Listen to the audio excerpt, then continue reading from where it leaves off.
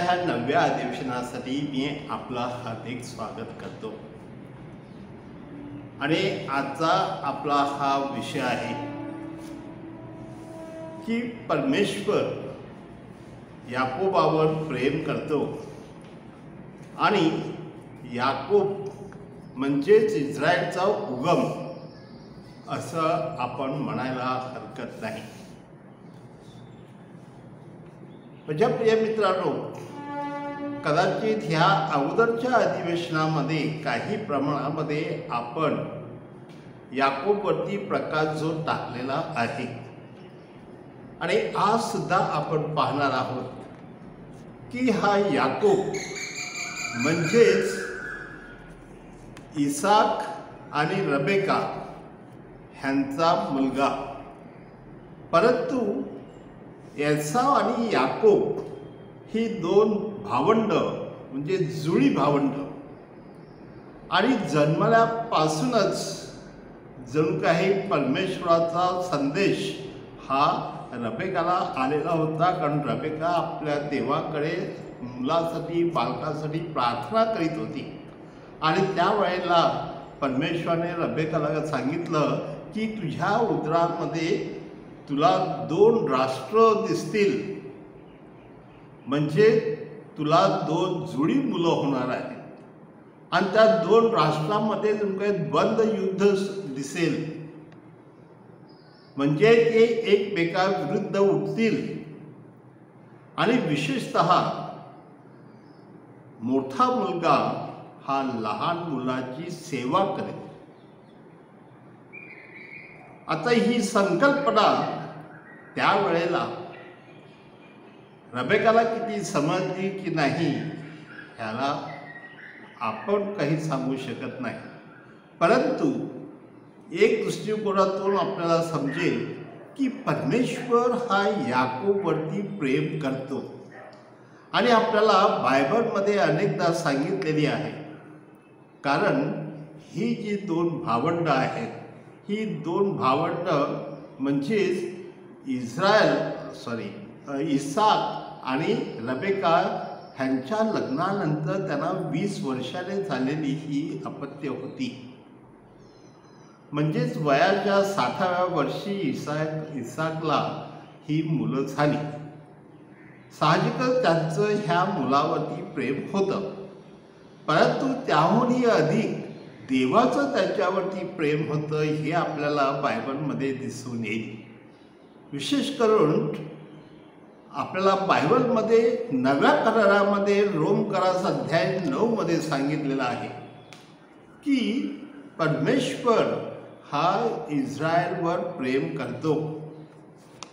आणि त्या रोम करास अध्याय नऊ अकरामध्ये आपल्याला दिसून येईल की खरोखर परमेश्वर हा त्या पर इस्रायलवरती म्हणजेच याकोबवरती प्रेम का करतो? कारण आपल्याला अनेकदा दिसून येईल की इवन जेव्हा आपण जुन्या काळातसुद्धा पाहतो की मलाखीच्या पुस्तकामध्ये मलाखीच्या पुस्तकामध्ये अध्याय एक दोनमध्ये सुद्धा सांगितलेलं आहे की परमेश्वर सांगतो हे याकोबा मी तुझ्यावर प्रेम केलेलं आहे. म्हणजे परमेश्वर याकोबाच्या प्रेमात काय पडलेला आहे असं आपल्याला दिसतं. त्याही अगोदर म्हणजे उत्पत्तीच्या पुस्तकामध्ये आपण जर अध्याय अठ्ठेचाळीस पंधरा पाहिलं तर त्या ठिकाणी परमेश्वर जणू काही सांगतो आहे की मेंढपाळाप्रमाणे मी त्याची काळजी वाहतो. एवढं तो त्याच्यावर प्रेम करतो. आणि मेंढपाळ हा कोण आहे कसा आहे ह्याची संकल्पना जुन्या करामध्ये आपल्याला दिली आहेच. परंतु नव्या करामध्ये की तो मेंढपाळ आपलं सर्वस्व मेंढरासाठी वाहतो आणि त्याला हरवलेल्या मेंढराला तो व्यंगेत धरून आणतो. एवढं त्याच्यावर त्याचं प्रेम म्हणजे मी त्याचा मेंढपाळ आहे आणि मेंढपाळाप्रमाणे मी त्याच्यावर प्रेम केलेलं आहे असंही तो सांगतो. आणि अध्याय एकोणपन्नासमध्ये सुद्धा आपल्याला दिसून येईल की एकोणपन्नास अठरामध्ये परमेश्वर सांगतो आहे की मी त्याचं तारण केलेलं आहे. हो माझ्या प्रिय मित्रांनो ह्या एकंदरीत सगळ्या वचनावरून आपल्याला दिसून येते की परमेश्वराचं याकोबावरती विशेष प्रेम होतं आणि त्या प्रेमानुसार त्याने त्याचं नाव देखील बदललेलं होतं आणि त्याचं नाव इस्रायल ठेवलं होतं. कारण इस्रायलचे जे बारा वंश आहेत किंवा याकोबची जी बारा मुलं आहेत त्याच्यापासून एक मोठं राष्ट्र निर्माण होणार होतं. आणि हे जे बारा वंश म्हणजेच इस्रायलची बारा मुलं त्याच्यापासून त्याने बारा समाज जो काय ते निर्माण झाले. आणि त्यांना त्याने परमेश्वराने त्याला ज्याला दुधा मनाचा प्रवाह म्हणतात अशा ठिकाणी त्याला घेऊन गेले. आणि त्या इस्रायल देशामध्ये ते स्थायिक झालेले होते. म्हणजे माझ्या प्रियमित्रांनो त्याहूनही अधिक मला असं वाटतं की जेव्हा आपण बायबल संपूर्ण वाचतो आणि जेव्हा आपण यशाच्या पुस्तकामध्ये अध्याय त्रेचाळीसमध्ये येतो तेव्हा परमेश्वर त्याला सांगतो हे याकोबा मी तुला निर्माण केलेला आहे. हे याकोबा मी तुझं तारण केलेलं आहे. आणि विशेषत माझं तुझ्यावर प्रेम आहे. तू माझ्या ठाई मोठा मोलाचा आहेस. आणि म्हणून तू जरी समुद्रातून गेलास तरी देखील तू बुडणार नाहीस.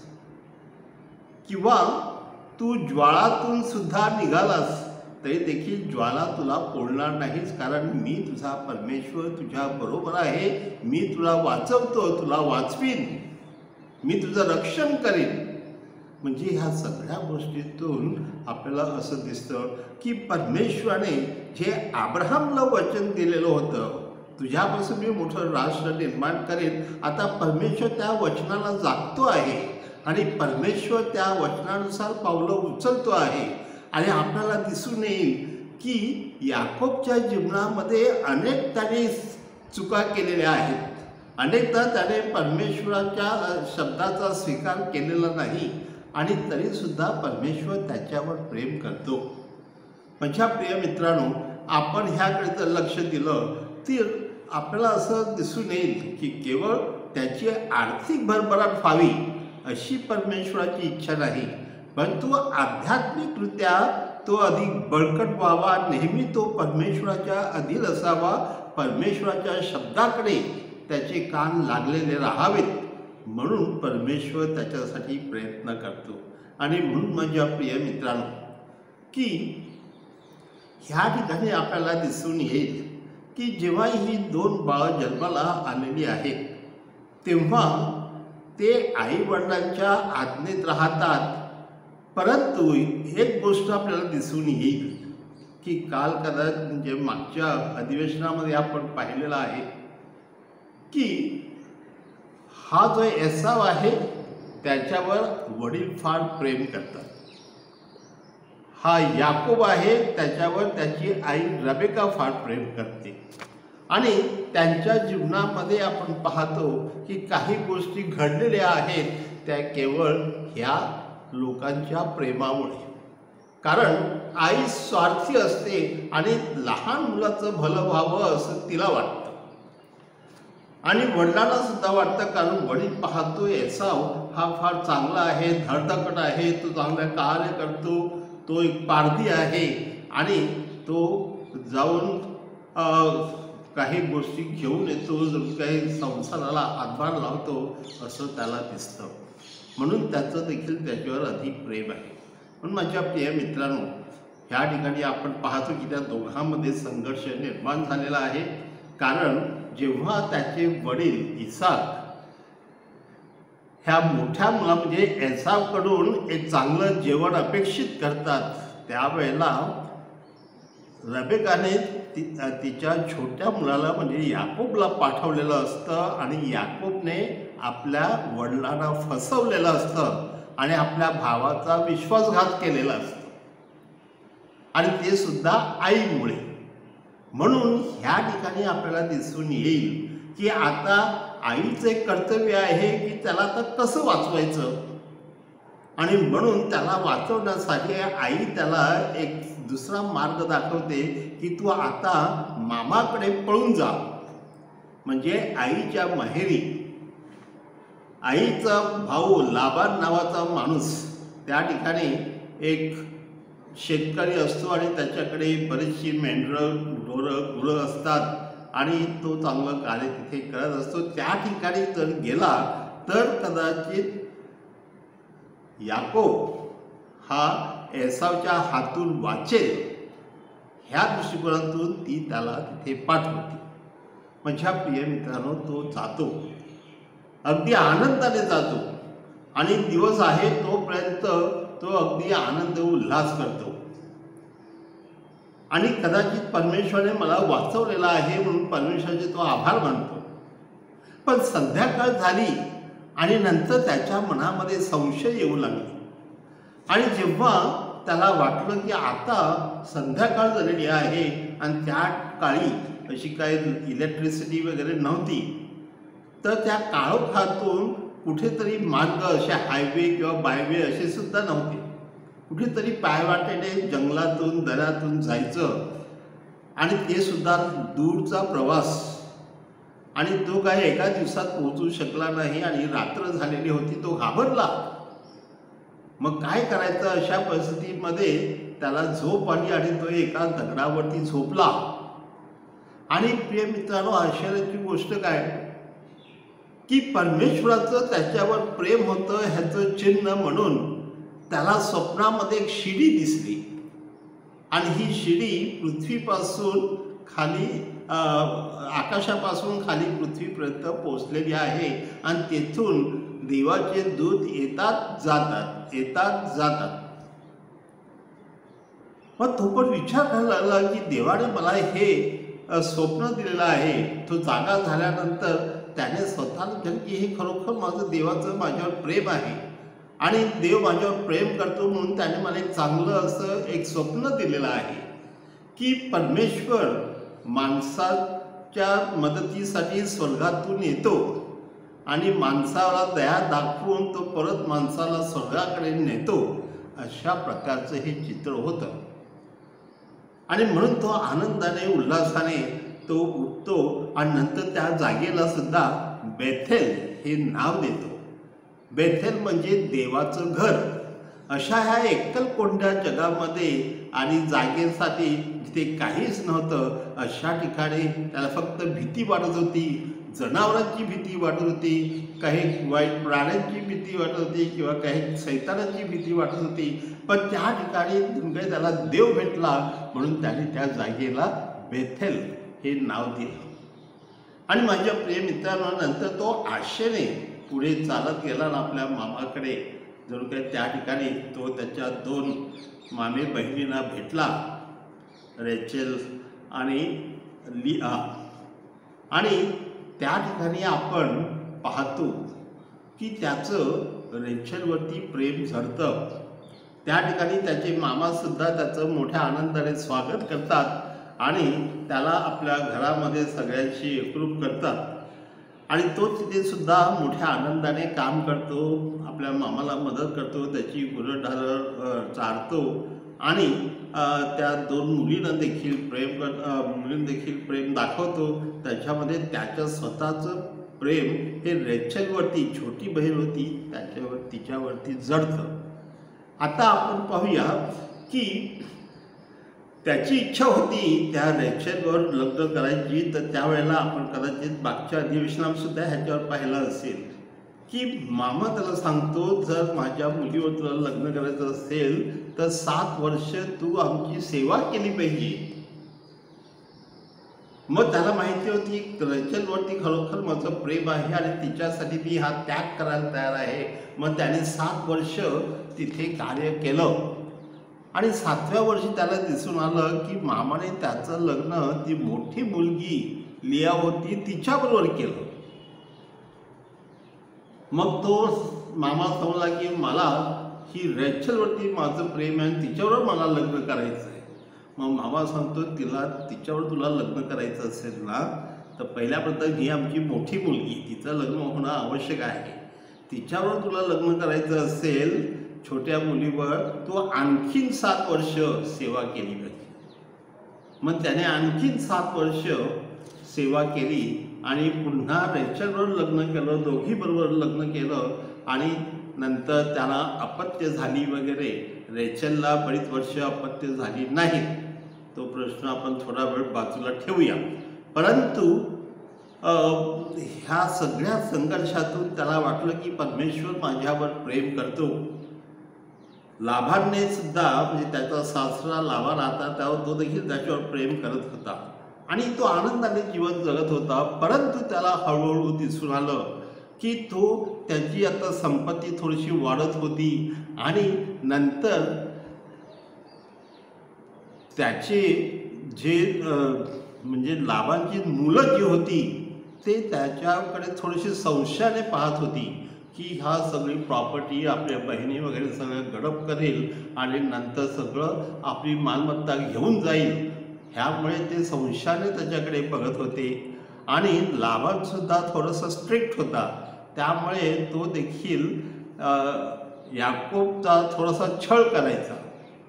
आणि आता तो लाभांना अ, लाभान त्याला घरी पाठवायला तयार नव्हता.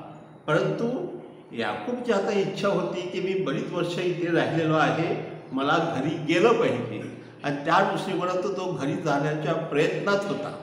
माझ्या प्रिय मित्रांनो इथे आपल्याला दिसून येईल की एका बाजून त्याला घरी जायचं आहे. सगळी तयारी झालेली आहे. परंतु आता त्याला काही गोष्टींमध्ये थोडंसं समस्या दिसत आहे. पहिल्या प्रथम सासरे नाखुश आहेत.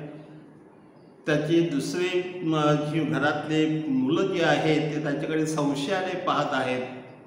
या दोन्ही मुली देखील थोड्याशा दुसऱ्या देवाकडे अन्य देवताकडे त्याची पूजा करण्याकडे वळलेले आहेत. आणि त्यामुळे तो थोडासा साशंक होता आता काय करायचं? पण त्याच्या मनामध्ये घरी जायचं होतं. पण दुसरा एक मोठा प्रश्न होता की घरी गेल्यानंतर भाऊ आपल्याला ठार करेल. मग काय करायचं? मग त्याने संपूर्ण रात्र प्रार्थना केली. आणि त्या प्रार्थनेमध्ये देवाला सांगितलं देवा तू माझ्याबरोबर राहा मला ह्या सगळ्या संकटातून वाचव. आणि संपूर्ण रात्रभर प्रार्थना केल्यामुळे देवाला सुद्धा खूप आवडलं आणि देवाने त्याला वचन दिलं की मी तुझ्याबरोबर आहे. मी तुझं रक्षण करेन. मी तुला एकटं सोडणार नाही आणि माझ्यावर विश्वास ठेव. पण माझ्या प्रिय मित्रांनो ह्या सगळ्यानंतर तो घरी जायला निघाला होता. परंतु मनामध्ये भीती होतीच. आणि शेवटी ज्या दिवशी निघणार त्या दिवशी त्याने विचार केला की मी माझ्या भावाला खंडणी म्हणून काही मेंढरं देईन किंवा काही गुरं देईन आणि त्यांच्या त्याच्या जाऊन पाया पडेल आणि ज्या दिवशी हे दोघे एकत्र भेटणार त्यावेळेला भावाने पण निरोप पाठवला की तो काही हजार सैन्य बरोबर घेऊन तो त्याच्या भावाला भेटण्यासाठी येणार आहे. त्यामुळे तो आणखीन घाबरला. आता माझा नाश होणार किंवा भाऊ मला ठार करणार त्यामुळे तो आणखीन देवाकडे प्रार्थना करत होता. पण त्यांचा तो विश्वास हा ठाम नव्हता. आणि त्यामुळे ती प्रार्थना देखील एवढीशी मजबूत नव्हती. की खरोखर परमेश्वर माझ्या बरोबर आहे ह्याचा अनुभव मला आलेला आहे मला देव दिसलेला आहे मला आकाशातून शिडी आलेली दिसत आहे या सगळ्या गोष्टी असताना सुद्धा. आणि देवाने मला संपन्न केलेलं आहे. देवाने मला वचन दिलेलं आहे मी तुझ्याबरोबर आहे. तरी सुद्धा तो घाबरला होता. आणि म्हणून जेव्हा भाऊ भेटला तेव्हा त्याने सात वेळा भावाच्या पाया पडला. म्हणजे आपल्याला प्रभू येशू ख्रिस्ताने सांगितलेलं आहे की तू माझ्या पाया पडशील तर मी तुला हे सगळं देईन. जणू काय तशा प्रकारेच याकोब वागलेला होता. आणि म्हणून माझ्या प्रिय मित्र तरीसुद्धा म्हणजे त्याच्या भावाने त्याला मिठी मारली आणि त्याचं स्वागत केलं. तरी देखील तो त्याच्यामध्ये तो विसरला की भाऊ मला ह्यापुढे कसं वागवेल? पण माझ्या प्रिय मित्रांनो ह्या ठिकाणी आपल्याला असे दिसून येईल की परमेश्वर त्याच्या बरोबर आहे परंतु त्या परमेश्वराचं प्रेम त्याने अनुभवलेलं आहे. त्या अनुभवातून सुद्धा त्याला असं वाटतं की परमेश्वर हा केवळ एखाद्या वेदीवरती नाही किंवा परमेश्वर एकाच ठिकाणी नाही तो सगळ्या ठिकाणी आहे. आणि तो सर्वत्र आहे. आणि तो प्रत्येक वेळेला स्वर्गातून येऊन आपल्याला मदत करू शकतो. हा त्याचा विश्वास वाढलेला होता. दुसऱ्या बाजूने सुद्धा आपण पाहतो की त्या जागेचं नाव त्याने बेथेड ठेवलेलं होतं. कारण त्याला माहिती होतं की देव इथे आहे. ह्या क्षणी इथे त्याच्यासाठी मंदिराची गरज नाही किंवा वेदीची गरज नाही पण तो अधर असतो. त्याला असंही जाणून चुकलं की देवावर आपण नेहमी श्रद्धा व्यक्त केली. तर तोच माझा एक आधार आहे तोच मला सगळ्या संकटामधून वाचवेल हे पण त्याला माहिती होतं. आणि विशेषत त्यावेळेला त्याने देखील देवाला सांगितलं होतं की देवा जे काही तू मला देशील त्यातील दहावा हिस्सा मी तुला परत देईन. आणि ह्या ठिकाणी आपण पाहतो की परमेश्वर त्याच्याबरोबर आहे आणि तो देखील आनंद उल्हास करत आहे. हे देखील आपण उत्पत्तीच्या पुस्तकामध्ये अध्याय एकोणतीस एकमध्ये पाहतो. की त्याला खरोखर आनंद झालेला आहे. तो आनंदाने उल्हासाने उड्या मारत आहे आणि प्रभूला सांगत आहे तू किती महान आहेस. म्हणजे माझ्या प्रिय मित्रांनो ह्यावरून आपल्याला असंही दिसून येईल की तो देवावर प्रेम करतो आणि अंतकरणापासून रेचलवरती देखील प्रेम करतो असं त्यात अध्याय एकोणतीसमध्ये आपण पुढे वचन वीसमध्ये देखील वाचतो. पण माझ्या प्रिय मित्रांनो ह्या सगळ्या दृष्टिकोनातून तो असाच विचार करतो की माझा भाऊ मला कसं वागवेल? आणि म्हणून तो भावाबरोबर तो त्याच्या गावी जात नाही. कारण त्याला भीती वाटते. आणि एका दृष्टिकोनातून तो घरी न जाता आपल्याला बायबलमध्ये सांगितलेलं आहे की तो सुकॉत इथे जातो. आणि सुकॉत इथे गेल्यानंतर तो तिथे राहतो. त्या ठिकाणी तो आनंदित असतो त्या ठिकाणी तो परंतु परमेश्वराची इच्छा असते की त्याने घरी जावं.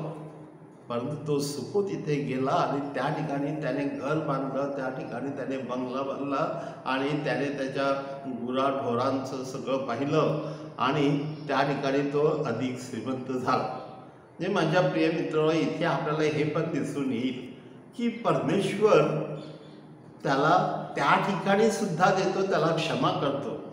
कारण तो तिथे भीतीने गेला होता. आणि आपल्याला ते अध्याय तेहतीस सतरामध्ये आपल्याला सांगितलेलं आहे की तो देवाला विसरला तो प्रार्थना करायला विसरला. आता त्याला वाटतं की मी आनंदी आहे माझं घर आहे माझा बंगला आहे किंवा माझी तबेले आहेत गुरढोरं आहेत. ह्या सगळ्यामुळे तो परमेश्वराला विसरला. नंतर तेथून पुढे तो शक्यम इथे गेला. आणि शक्यमला तो स्थायी झाला. आपण ते पाहतो त्याच सतरानंतर अठराव्या ओबीमध्ये की तो शक्यम इथे गेल्यानंतर तिथे त्याला विशेषत विशेषतः अनेकदा अपयश आलेलं दिसून येतं. अपयश आलेलं दिसून येतं अशासाठी की त्याच्या जीवनामध्ये योग्य ते घडत नाही. कारण त्याला देवाने सांगितलं होतं की तू बेथेलला जा आणि तो गेला शक्यमला. किंवा तो गेला सुकोतला मग अशा ह्या परिस्थितीमध्ये तो देवाचा शब्द ऐकतो का? हा देखील महत्त्वाचा प्रश्न तिथे निर्माण झालेला आहे. आता देवाने त्याला काही जमीन देऊ केलेली होती. विनामूल्य. कारण देवाचं त्याच्यावर प्रेम होतं आणि तो सुखी असावा आणि देवाने त्याला जे वचन दिलं होतं त्यातलं काही प्रमाणामध्ये ते वचन पूर्ण होणार होतं. पण ह्याने देवाला न विचारता ती जमीन विकत घेतली. आता हे सुद्धा त्याच्या जीवनातून ते अपयश आहे. कारण आपण इथे पाहतो की परमेश्वर तुला काय सांगतो? आणि मग तो सांगतो की आता मी परमेश्वरासाठी वेदी बांधली. मग परमेश्वर त्यावेळेला त्याला सांगतो आहे की मला वेदीची काय गरज आहे? तू माझा शब्द ऐकत नाही आणि माझ्या वचनाप्रमाणे तू जगत नाही. मग ह्या वेदीचा काय उपयोग? त्या वेदीवर येऊन मी सुद्धा काय करणार म्हणून परमेश्वर नाराजी व्यक्त करतो. आणि ते परत त्याला लागते की परमेश्वर आता माझ्यावरती रागावलेला आहे. परमेश्वरला मी आवडत नाही आणि अशा प्रकारे तो त्या ठिकाणी सुद्धा काही गोष्टीपासून नाराज होतो. इथे सुद्धा आपल्याला दिसून येतं की लेयापासून किंवा लेयापासून त्याला एक मुलगी झालेली असते दीना. आणि ती दीना हिच्यावरती आश्चर्याची गोष्ट म्हणजेच की ह्याचे दुसरे दोन मुलं त्या लियावरती अत्याचार करतात म्हणजे बलात्कार करतात. आणि विशेषत तो ज्या तो राजपुत्र असतो शक्यमचा त्याने तो त्याने त्या दिनावरती बलात्कार केल्यामुळे तो परंतु त्याची इच्छा असते की दिनाबरोबर लग्न करावं. आणि तो तयार होतो परंतु तिच्या ह्या दुसऱ्या भावने वगैरे मानलं नाही. आणि विशेषत त्याने ह्या राजपुत्राला आणि दुसऱ्या सगळ्याला तिथल्या लोकांना त्याने ठार केलं आणि सगळी नाती भीती बिघडवली. आणि त्यामुळे सुद्धा हा नाराज झाला. आपण ह्या ठिकाणी पाहतो की त्यांच्या अ, एका बाजूने लग्न तर झालंच नाही परंतु तिची नाचक्की झालीच आणि त्या ठिकाणी मोठा वादंग निर्माण झाला. आणि माझ्या प्रिय मित्रांनो त्या ठिकाणी सुद्धा तो थोडासा मूर्तीपूजक बनला. म्हणजे त्याला काही सुचत नाही काय करावं आणि परमेश्वर माझ्याबरोबर आहे की नाही आणि म्हणून तो मूर्तीपूजक बनलेला आहे असं आपल्याला दिसून येतं. खरं पाहता त्याच्यामागे साडेसाती लागलेली होती. म्हणजेच आपण पाहतो त्याच वेळेला त्याची आजी जी होती दबोरा ती मरण पावली होती. त्याच वेळेला त्याची लाडकी पत्नी रेचेल ही मरण पावली. त्यानंतर आपण पाहतो की त्याच्या दोन मुलांनी त्याच्या उपपत्नीबरोबर स्वतःच्या दोन मुलांनी उपपत्नीबरोबर संभोग घेतला आणि तो आणखीन भितरला की माझ्या जीवनामध्ये हे काय चाललेलं आहे? आणि परमेश्वर कुठे आहे? आणि तो एवढा वैतागला जीवनाला. कारण त्याच वेळा त्याला असंही वाटलं की त्याचा जो वडील होता इसा इसाक इसाक देखील त्याच वेळेला मरण पावला. आणि एकामागून एक ह्या गोष्टी घडत गेल्या आणि त्यामुळे देखील तो अधिक वैतागला. म्हणजे माझ्या प्रिय मित्रांनो आपण इथे पाहोत की त्याच्याच मुलाने जणू काही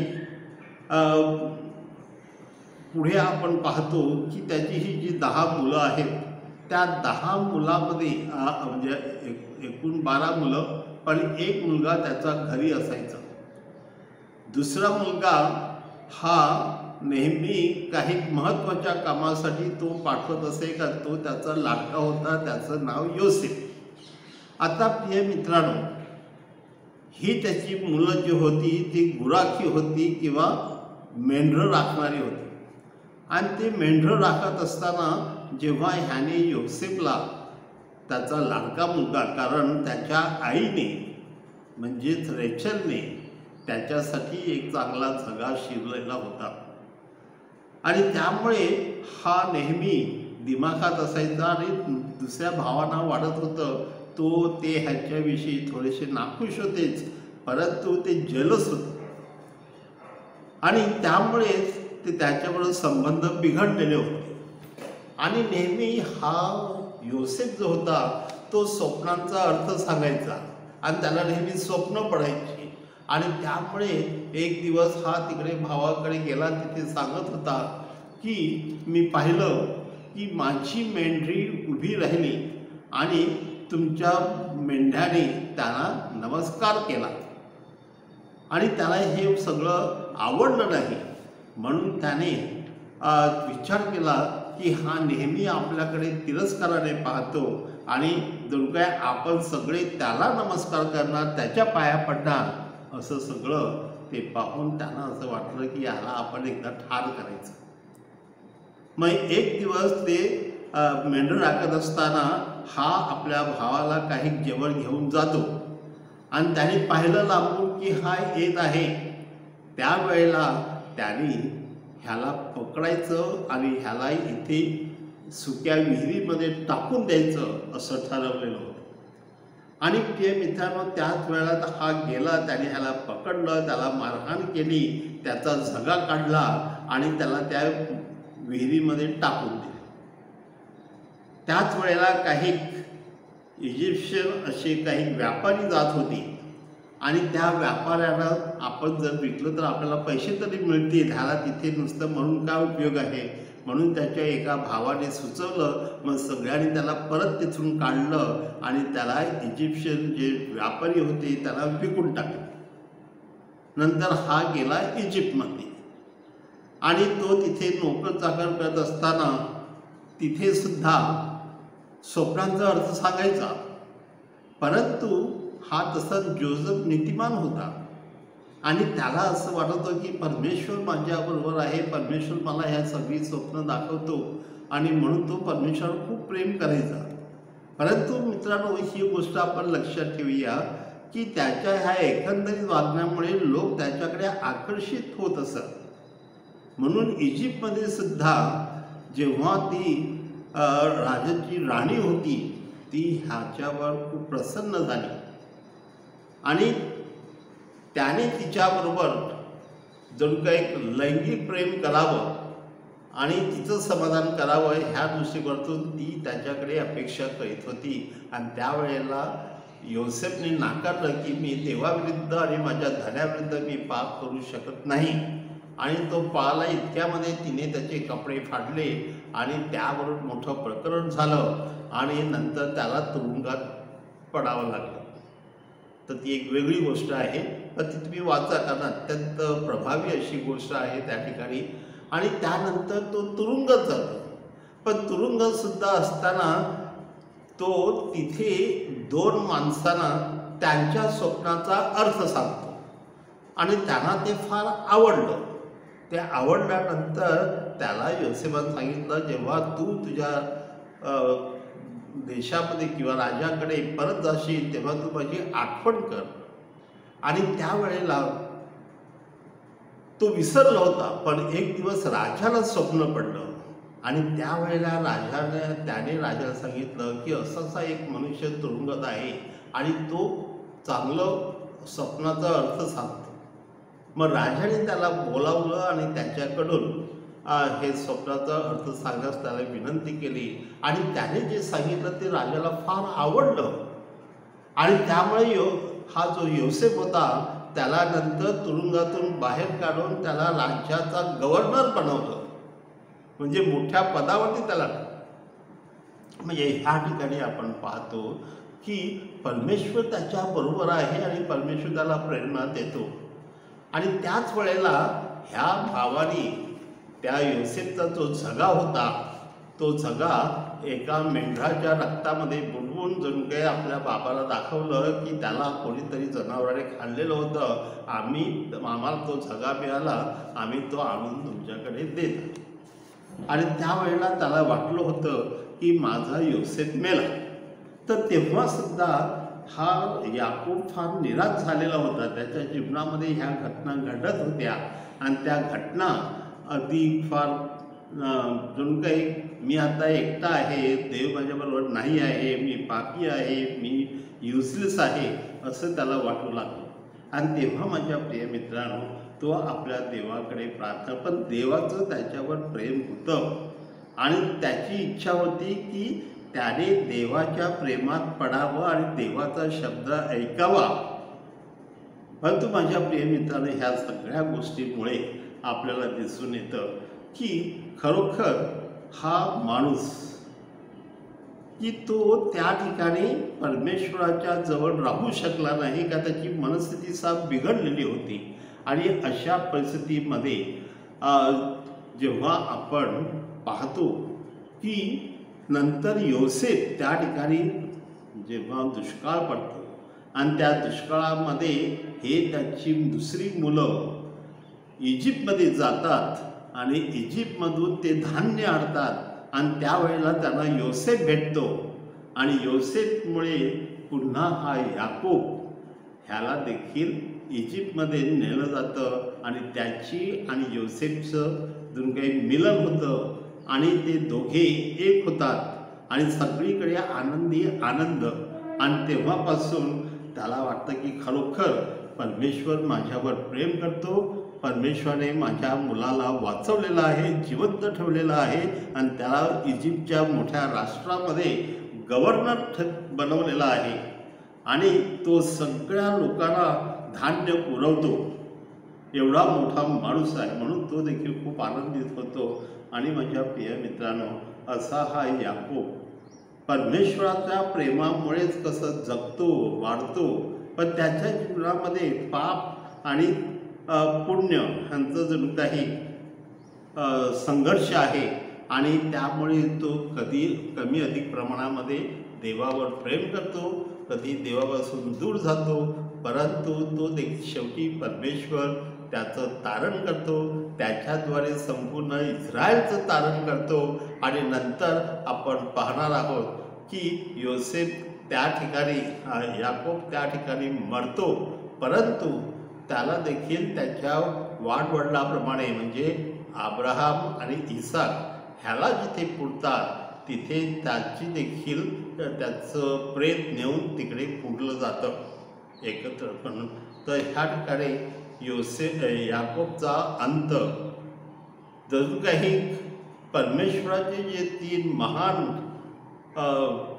आदिपिते आहेत त्याच्यामध्ये ह्या याकोबचं नाव आहे. आणि याकोबमुळे नवीन इस्रायल निर्माण झालेला आहे. आणि याकोबमुळे जणू काही बायबल लिहिलं गेलेलं आहे. असं आपण पाहतो.